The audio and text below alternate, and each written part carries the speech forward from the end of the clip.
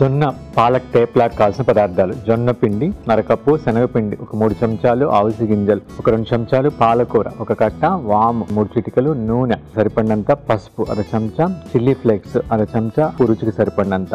పాలక్ టేప్ల తయారు చేయ విధానం ముందుగా స్టవ్ ఆన్ చేసుకుని ప్యాన్ పెట్టుకొని ఆవుసి గింజలు వేపుకొని పొడి చేసి పక్కన పెట్టుకోవాలి. తర్వాత పాలకూరను సన్నగా తరిగి మిక్సింగ్ బౌల్లో తీసుకొని పసుపు చిల్లీ ఫ్లేక్స్ తగినంత ఉప్పు వాము శనగపిండి అవిసి గింజల పొడి జొన్న పిండి సరిపడినన్ని వేడి నీళ్ళు పోసుకొని రోటీ పిండిలాగా బాగా మద్దం చేసుకుంటూ కలుపుకోవాలి. తర్వాత దీన్ని అరిటాకు మీద తేపలాగా ఒత్తుకొని స్టవ్ ఆన్ చేసుకొని వెనం పెట్టుకొని నూనెతో రెండు వైపులా కాల్చుకొని సర్వింగ్ ప్లేట్లో తీసుకొని సర్వ్ చేసుకుంటే జొన్న పాలక్ తేపలా రెడీ.